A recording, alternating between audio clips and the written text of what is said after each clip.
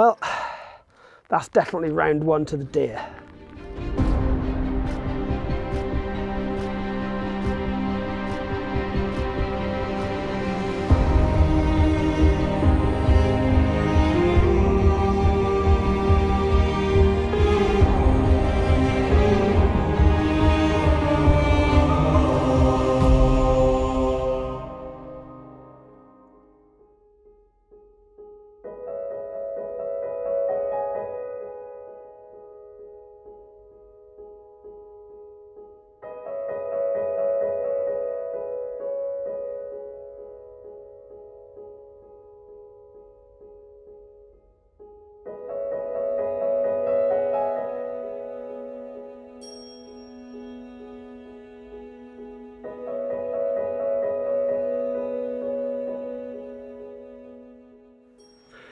Morning folks.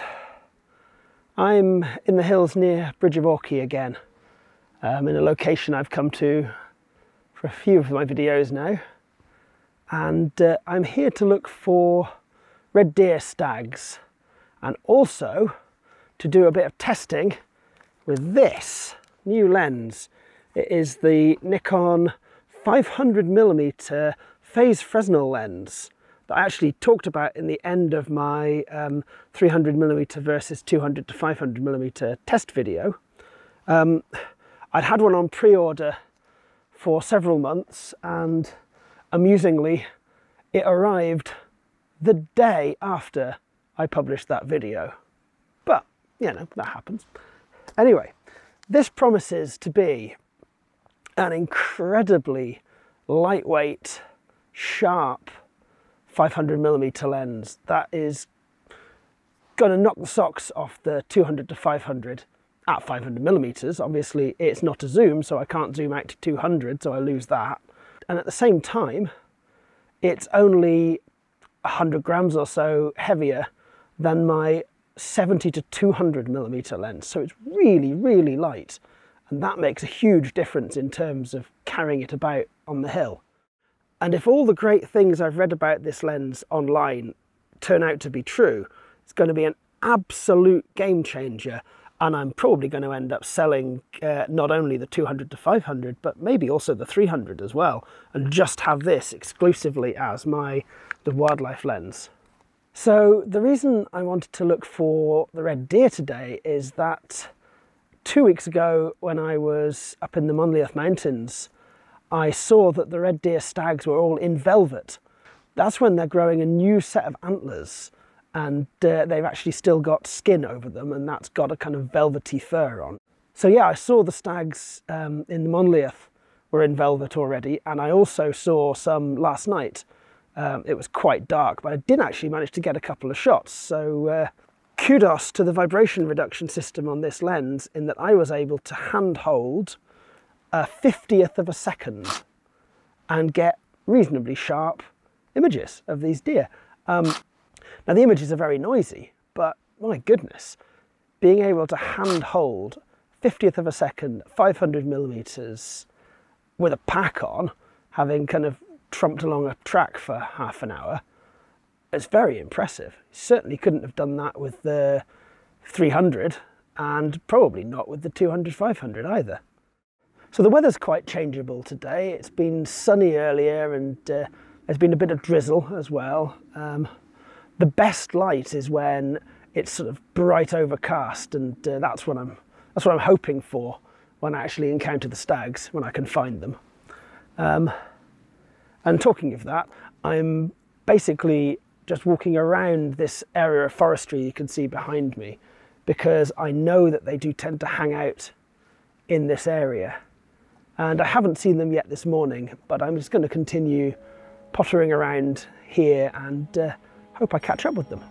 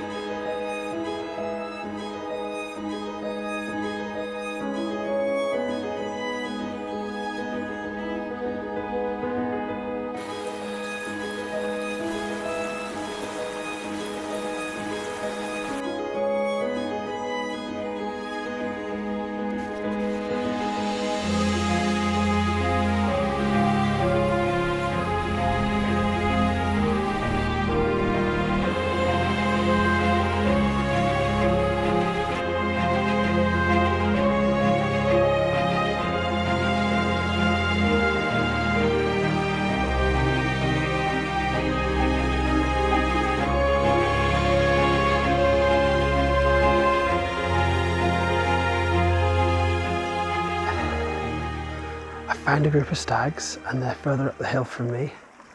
And uh, I think they're the group that uh, I saw yesterday late on in the evening. Um, I'm not sure whether I'm going to be able to approach particularly close because the cover's not particularly good and uh, I'm not exactly an expert deer stalker. But I'm going to use the stream that's sort of next to me here and running off in front of me as a kind of natural cover to cover the sound of me approaching and also because it's a little valley I'll kind of walk along in the bottom of that and uh, hopefully I'll be able to get a little bit closer and get some pictures.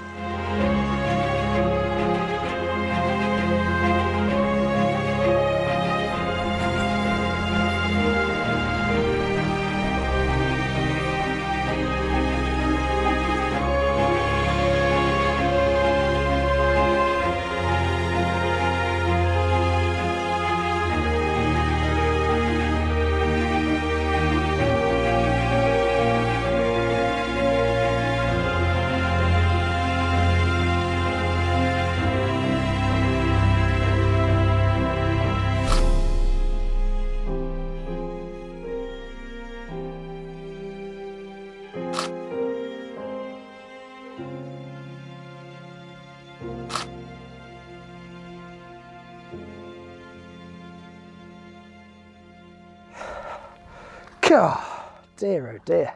Well, that's definitely round one to the deer.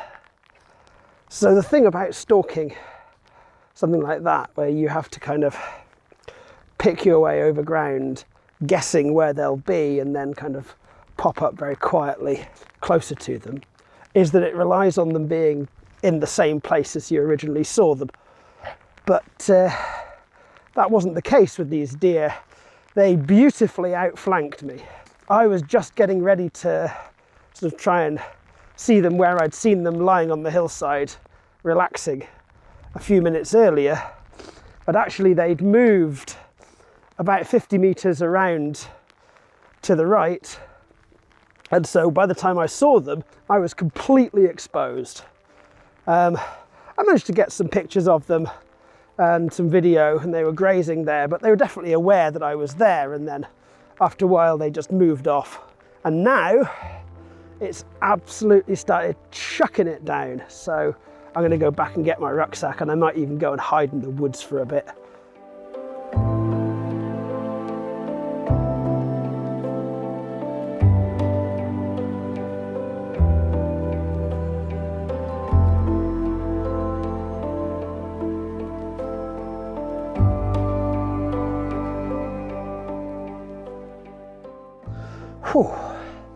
It's really chucking it down out there. But I've made it into the woods and uh, I'm in the relative shelter now. Although I can't stop here for very long because the midges will find me pretty soon and it'll be unbearable once that happens. Um, the deer seem to have had the same idea of getting out of the rain in that uh, I've seen lots of them moving into the top of the woods a bit further along. And uh, that's the direction I want to go in next anyway. So it makes sense for me to potter along that way now and uh, see if I can catch up with them. I'm very, very pleased that the lens is weather sealed, by the way, because when I was out there and the rain suddenly came on, and while I've got a rain cover for it, that was in the rucksack, and the rucksack was here by the edge of the woods. And so by the time I got back here, everything was absolutely soaked. So uh, yeah, I'm glad it's weather sealed.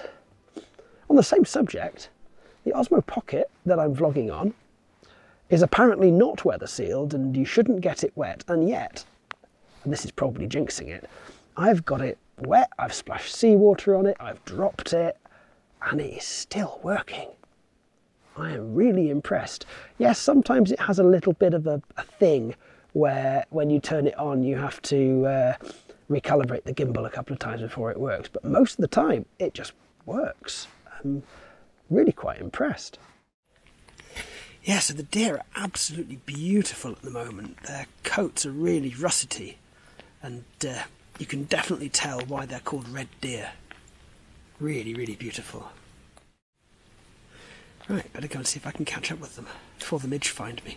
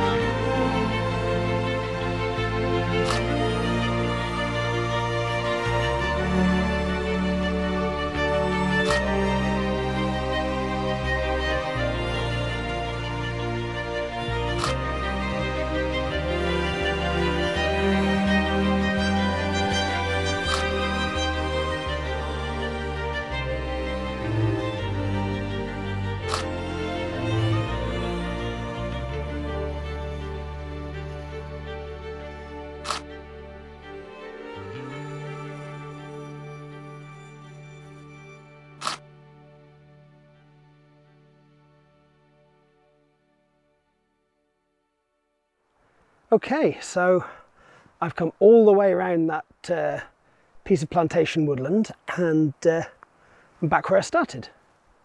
And I've seen a few more deer, um, had some quite nice encounters as I was walking along that fence line. And um, yeah, I'm really pleased with some of the photos I've got. Uh, they look really nice. I've got some pictures of the, the deer actually in the pouring rain as well, but once the rain uh, cleared a bit, there started to be a sort of mist rising out of the woods and that was really cool with that big group of hinds as well as uh, some youngsters in there as well. So they were really nice to see. Um, I'm very impressed with the 500mm phase Fresnel lens. It's so light and uh, it focuses so much faster than the 200 to 500. It's just brilliant. And uh, I've only looked on the back of the camera so far, but the image quality looks to be superb. So uh, yeah, I'm really pleased with it. Yeah, I've really enjoyed being out on the hill today and watching the deer. It's been great. I hope you've enjoyed watching the video. And uh, yeah, if you have, please like and share and leave a comment. And uh, if you like my videos and what I'm doing with my YouTube channel, please subscribe. And uh, yeah, I'll see you on the next one. Um, thank you very much for watching. Goodbye.